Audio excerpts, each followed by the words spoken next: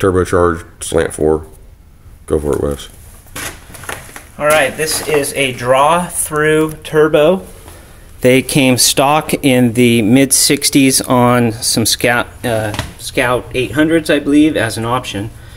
Uh, gas and air is pulled through the carburetor, comes around th- through the turbo, and is then pushed down into the intake manifold.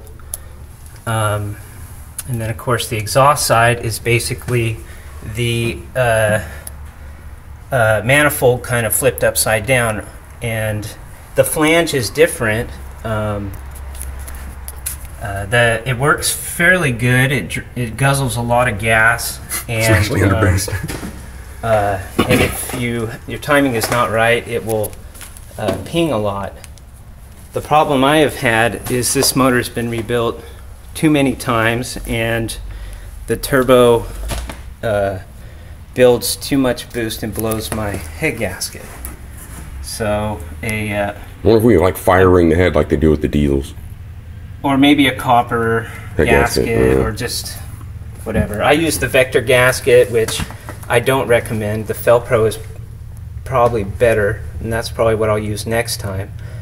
Uh, we, we eliminated a fan and, and we run on a, an electric fan through some no, kind of I have- radiator. I have both, but at the at one thing is that the engine, the turbo makes the engine run hot. In addition, it takes away a lot of the oil pressure, and um, you can uh, put some washers inside the oil pump and bump up your uh, oil pressure.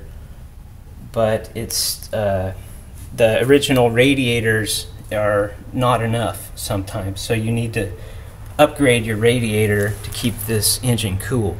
And then you need to look at your oil pressure and see if you're getting enough. Um, there are, uh, the oil return line is right here, and the supply line is right here. And that is tapped into the engine, so it gets hot. head? Comes through the bottom.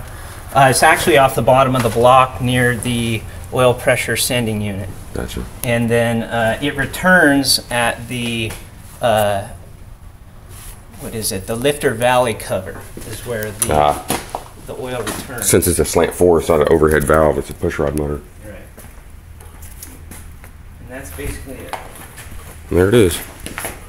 That's the Scout. It's got Dusty. She's beautiful.